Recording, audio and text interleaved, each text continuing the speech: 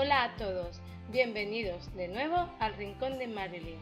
En esta ocasión vamos a decorar una botella de plástico imitando la madera y el nácar. Esta es una técnica que se me ocurrió hacer, he probado y por lo que veis me ha quedado bastante bien.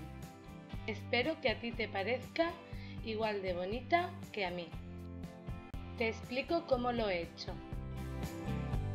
En un tutorial anterior utilicé este tipo de botella. Es el envase de suavizante de la lavadora y como tiene una forma bonita voy a reciclarlo. Para ello lo que voy a hacer primeramente es darle varias manos de cartapesta. Yo lo voy a hacer con engrudo, tú puedes hacerlo también igual que yo o con cola blanca diluida en agua.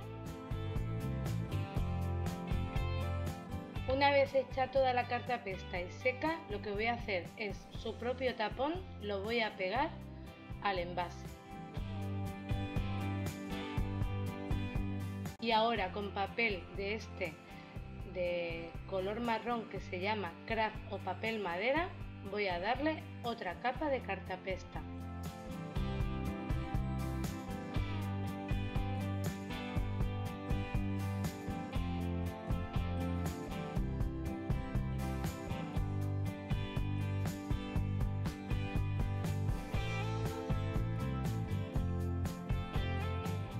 Como no me termina de convencer el tapón de la botella, me he encontrado este más grande y se lo voy a pegar para que quede más vistoso y más sobresaliente.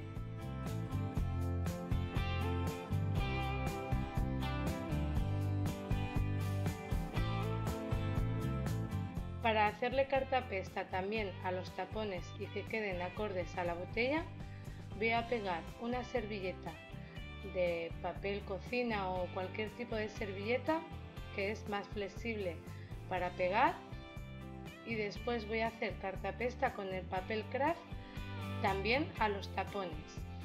Pego la servilleta para que el papel craft que es más duro me quede mejor pegado o sea más cómodo pegarlo.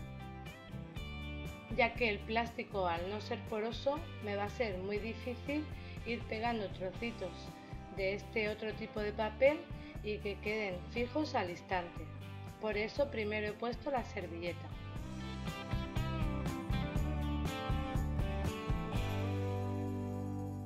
Ya tengo seca toda la cartapesta del papel craft y para decorarla, como habéis visto al principio, voy a utilizar unas figuras de rombo y voy a hacer dos tamaños una más grande y otra más pequeña. Me las he marcado en la botella para llevar una mejor guía y para ello voy a superponer los tres rombos grandes pegando por encima el pequeño. Como haciendo un poco de relieve.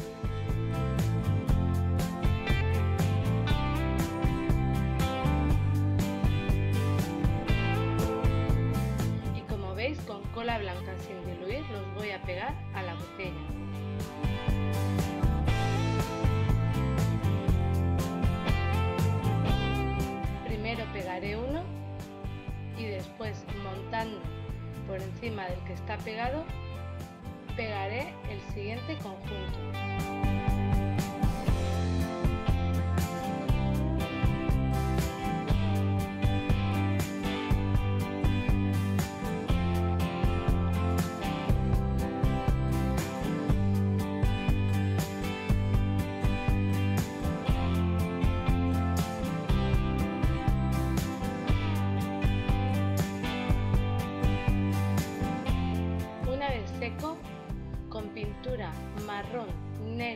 Y blanco voy a ir dando pinceladas hasta obtener el color marrón deseado.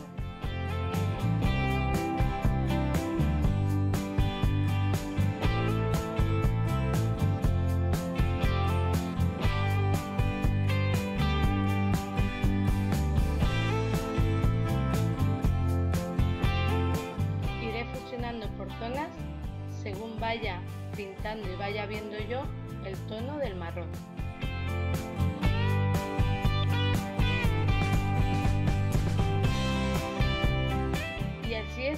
Quedado. Por algunas partes se ve todavía el papel craft, pero no me ha importado porque ahora voy a pasar suavemente la lija y desgastaré esa pintura.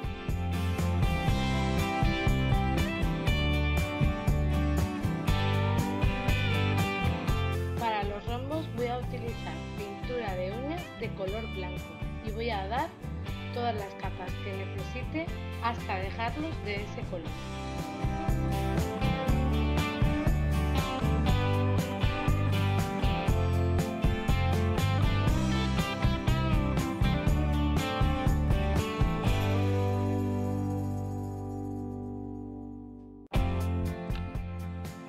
Hacer el efecto nácar voy a utilizar también pintura de uñas.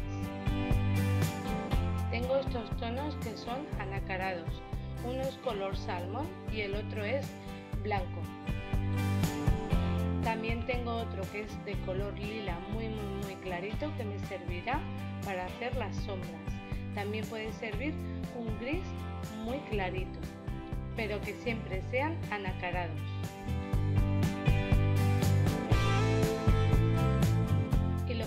Lo que voy a hacer es ir dando brochazos irregulares un tono por aquí, otro por allá, sin llevar un correcto orden.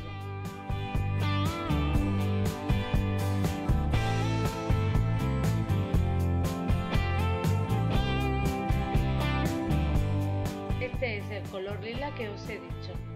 Y como os decía, voy a ir haciendo lo mismo por algunas zonas, imitando las partes oscuras del nácar.